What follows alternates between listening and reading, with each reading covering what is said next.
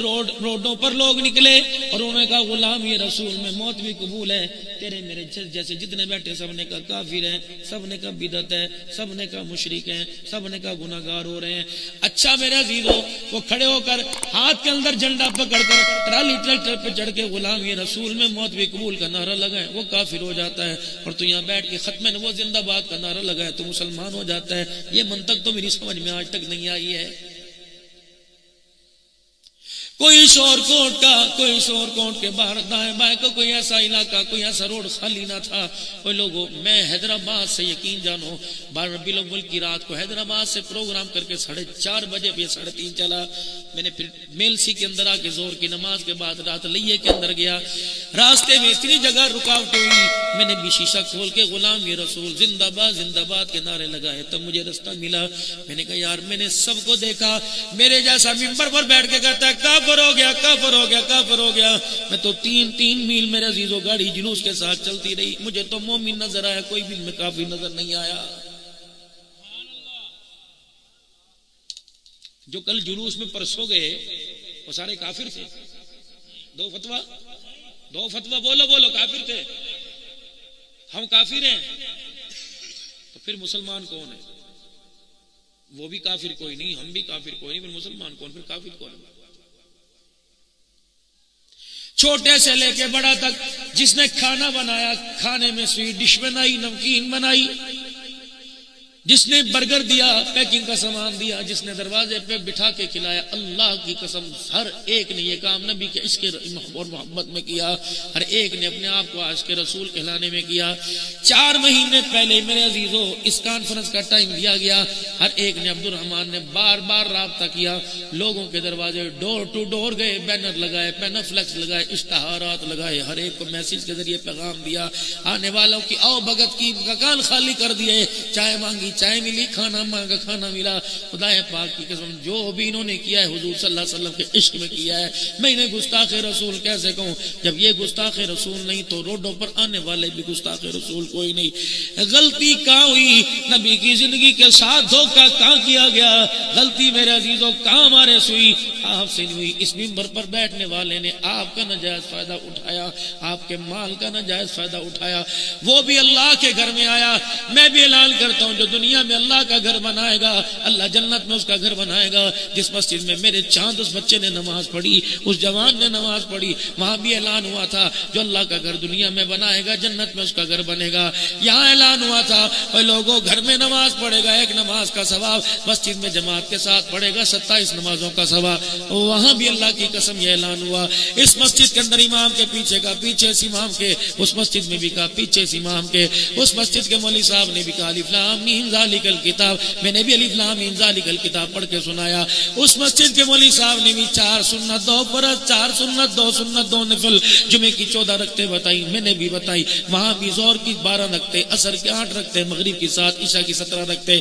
یقین جانو کام متضاد ہوا۔ وہاں بھی طلاق کے مسئلے میں برابری دکھائی گئی۔ وہاں بھی حقوق کے مسئلے میں برادری برابری دکھائی گئی۔ وہاں بھی میرے عزیز و عشر زکات کا مسئلہ برابر کا ہوا۔ یہاں بھی عشر زکات کا مسئلہ برابر کا ہوا۔ لیکن غلطی میرے عزیزو، یہ ہوئی، اللہ اکبر، ہم نے اس رسول کو، عشق رسول بن کو بتلانے کے لیے، دکھانے کے لیے اللہ اکبر، نبی کے بلال کو نہ دکھایا، آمنہ کے لال کو نہ دکھایا، نبی کے صدیق عمر کو نہ دکھایا، نبی کی خدیجہ، نبی کی عائشہ کو نہ دکھایا۔ ہماری تو صدا یہی رہی چاہیے آنے والے کو کسی نہ کسی طریقے سے قابو کیا جائے، اور اللہ اکبر، اس پر ڈانگ سوٹوں سے اتنا حملہ کیا جائے، اس کا دماغ بھی باقی نہ رہے، اس کی جیب میں پیسہ بھی باقی نہ رہے اللہ کی قسم، ہر کوئی عشق رسول میں عشق محبت میں آیا تھا۔ غلطی اس سے نہیں ہوئی، غلطی اس ممبر پر بیٹھنے والے سے غلط گائیڈ کرنے کی وجہ سے ہوئی ہے۔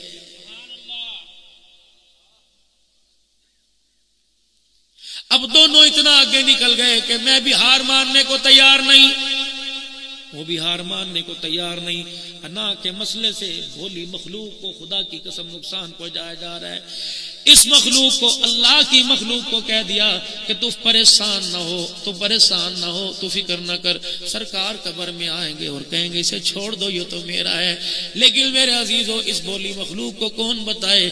شور کوٹ کہاں ہے؟ مدینہ کہاں ہے؟ روزہ الریاض الجنہ کہاں ہے؟ نبی کا روزہ کہاں ہے؟ اللہ اکبر، میرے عزیز و، جنت البقی کہاں ہے؟ تیری بیٹی شور کوٹ میں، نبی کی بیٹی جنت البقی میں۔ تیرا نواسا شور کوٹ میں، نبی کا نواسا حسن جنت البقی میں۔ تیری بیوی شور کوٹ میں نبی کی عائشہ جنت البقی میں تیرا دماغ شور کوٹ میں نبی کا عثمان دماغ جنت البقی میں تیری پھپھی شور کوٹ میں نبی کی پھپھی جنت البقی میں دس ہزار نبی کے وارے نیارے کو محمودار صحابہ جنت البقی میں رب کعبہ کی قسم ہے، حجت الوداع کے موقع پر کسی ایک کو بھی آپ نے اعلان کر کے یہ نہیں فرمایا، اللہ اکبر، امال تیرے معاف ہو گئے، نیکیاں آج کے بعد تجھے عمل کرنے کی ضرورت نہیں، تو مرنے مر کے دکھا، میں تیری قبر میں آؤں گا، تیرا ہاتھ پکڑ کے لے جاؤں گا۔ بلکہ سیدہ فاطمہ الزہرا رضی اللہ تعالیٰ عنہ مسلح پر نماز پڑھتی پڑھتی گر پڑی۔ حضور صلی اللہ علیہ وآلہ وسلم کو پتہ لگا، آپ حجرے کا پردہ ہٹا کر اندر تشریف لائے۔ بیٹی کو ہاتھ سے پکڑا، ہاتھ کی پشت پہ بوسا دیا، ماتھے پہ بوسا دیا۔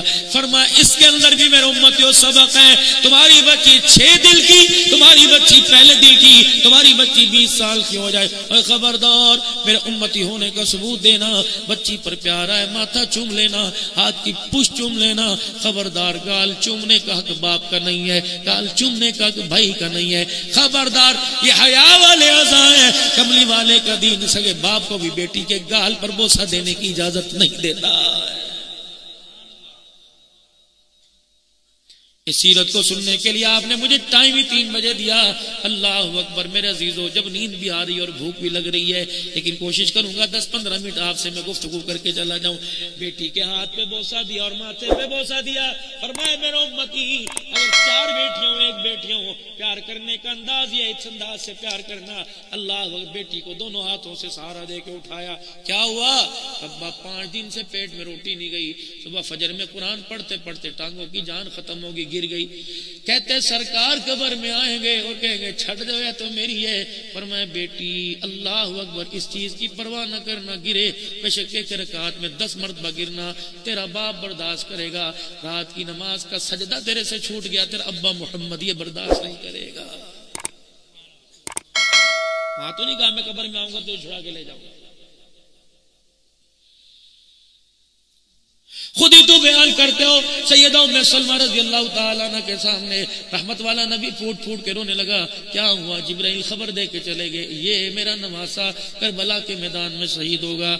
اور سرکار اگر تیرے میرے لیے قبر میں آگے دعا کر سکتے ہیں، تو وہاں خدی وہاں میرے عزیز ام سلمہ سے کہتے، تو آمین کہ میں دعا کرتا ہوں۔ ہاتھ تو اٹھا، اللہ اکبر، ماؤں میں ماؤں آلہ، نبیوں میں نبی آلہ۔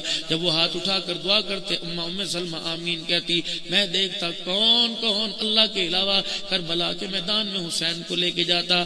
فرمایا، حسین، اگر قیامت کے دن قیامت تک میرے نام کی ساتھ نسبت رکھنی ہے، تو تجھے بستر پہ لیٹنا نہیں پڑے گا۔ کربلا کے میدان میں سجدے میں لیٹ کر، سجدے میں جا کر سبحان ربی اللہ کہہ کے دکھانا پڑے گا۔ اے حسین، تجھے تیر والے ممبر پر چڑھ کر نیزے کی نیزے کی اینی پہ چڑھ کر تجھے خدا کا قرآن سنانا پڑے گا۔ میرے عزیزو، اللہ اکبر، آج ہر ممبر اس بات بات سے قاصر ہے آنے والا حلیمہ کی لوڑی تو سناتا ہے۔ آمنہ کے لال کو طائف کی گلی میں پتھر کیوں پڑے؟ آنے والا اس کا مقصد ہی نہیں بتلاتا۔